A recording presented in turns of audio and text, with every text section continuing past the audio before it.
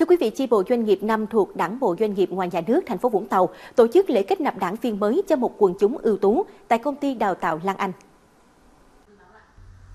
Với việc kết nạp thêm một đảng viên mới trong dịp này, số đảng viên của chi bộ doanh nghiệp năm thuộc Đảng bộ doanh nghiệp ngoài nhà nước thành phố Vũng Tàu đã được nâng lên 27 đảng viên, công tác tại 18 doanh nghiệp. Trong nhiệm kỳ